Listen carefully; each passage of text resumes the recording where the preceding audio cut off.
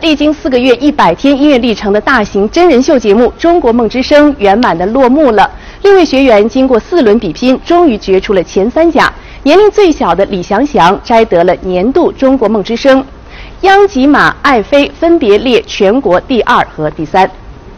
来自哈萨克族的阿来在淘汰赛中首轮出局，面对千里迢迢赶来为自己助阵的家人和乐队兄弟，阿来忍不住流下了男儿泪，用自己的原创经典《兄弟》告别梦之声舞台。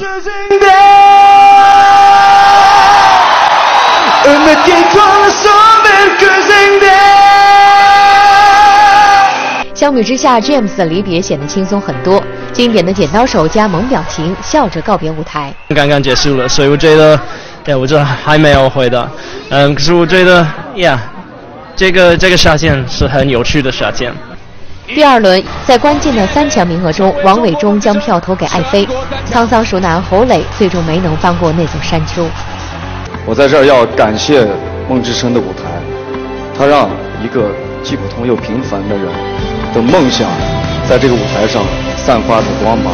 势不可挡。最受瞩目的三强争霸将昨晚的总决赛推向高潮。唱跳型的艾菲出乎意料地选择了并不擅长的慢歌。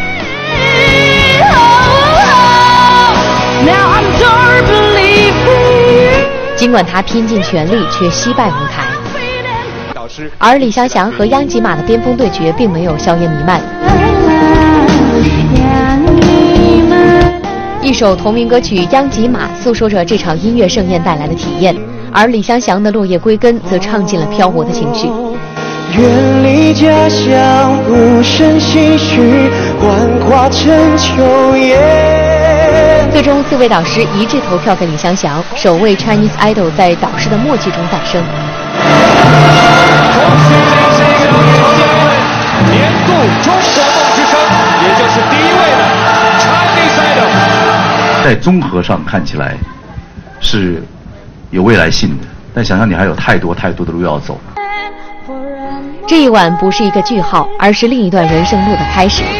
这个夏天也注定让这群为梦追逐的年轻人难忘。就在第一季《中国梦之声》圆满落幕的同时，东方卫视的黄金资源优势也充分体现在梦之声的品牌价值上。九朵玫瑰以一百三十七万中标，二进一十五秒冠军广告点，刷新了省级卫视十五秒广告单价记录。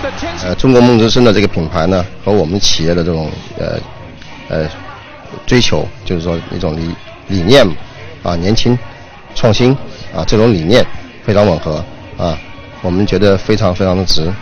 东方卫视记者周婷上海报道。